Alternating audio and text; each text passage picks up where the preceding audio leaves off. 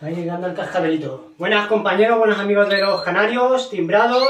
Pues este vídeo se, me ha ocurrido porque estamos ya a día 9 de noviembre y ya la gente empieza a, adquirir ejemplares y, introducir pájaros a sus aviarios.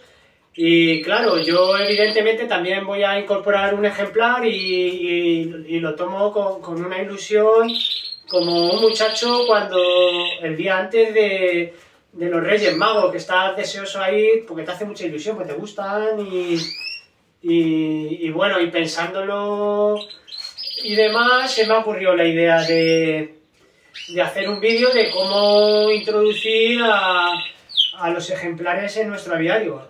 Más que nada ha sido por eso, porque al estar pensando en en, los pajaritos, que meto este pajarito, esta hembra, y, la gente te pregunta eh, qué tengo que meter o cómo lo tengo que, meter en el aviario, qué es lo que tengo que hacer, y, bueno, pues así se me ha ocurrido un poquito de idea. Se me ha ocurrido como... Vaya intermedio bueno, ¿eh? Y por lo menos me gusta a mí.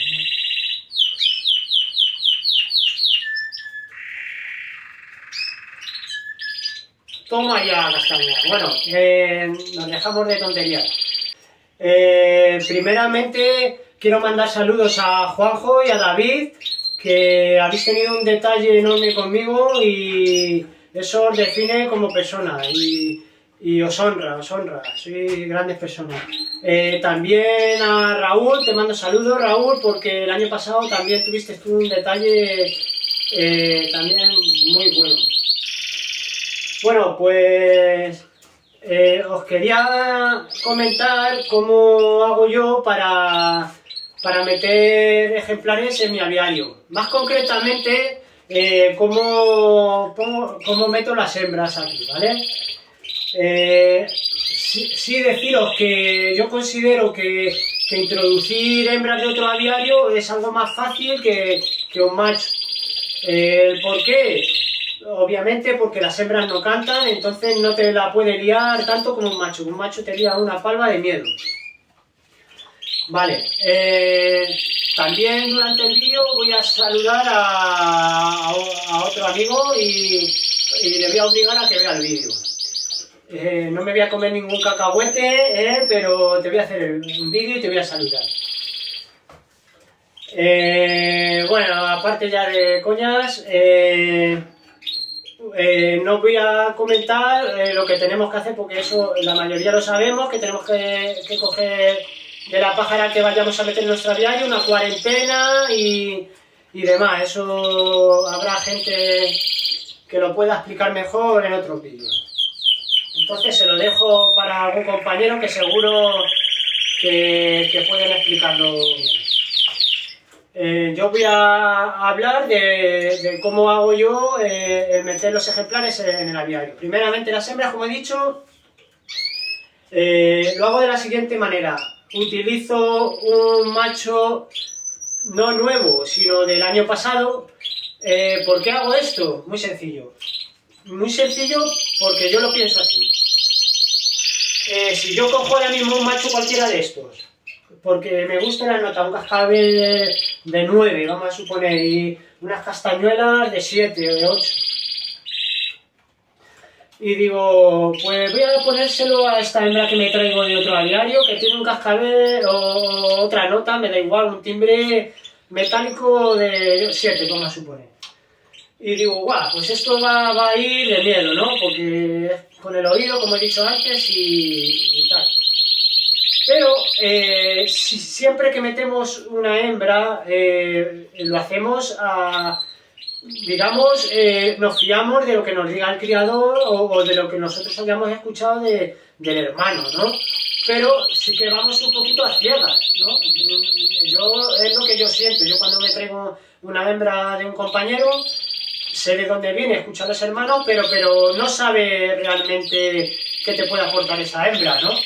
Entonces, qué mejor manera que, usar un ejemplar que tú hayas criado el año anterior, ¿no? Tú coges un ejemplar que ya sabes lo que te aporta. y se lo pongo a la hembra, ¿vale? Y, repito si, si tengo la oportunidad, porque tengo la pareja hecha ya del año pasado, y se lo echo a la otra hembra también. Entonces ahí yo ya voy sacando mis conclusiones. ¿Vale? Entonces uso un macho para la hembra nueva, pero que ha criado ya el año pasado, que ya me está diciendo lo que me da. De ahí, ya depende de lo que me dé o no me dé. Si considero que me da muy buenos pájaros, pues sigo con ella. O, veo que, ese año no eso, a lo mejor la aguanto otro año y pruebo con otro pájaro. Pero al, meterlo de nuevas, eh, eh, yo lo hago de esa manera, ¿vale? Porque sí que os he dicho en otros vídeos que, que me gusta criar un macho para dos hembras, para un poco eh, saber lo que me aporta cada, cada ejemplar, porque claro, si tú usas un macho, un solo macho, y dos hembras, o también puede ser una hembra y dos machos, eh, voy viendo un poquito y voy sacando yo mis conclusiones.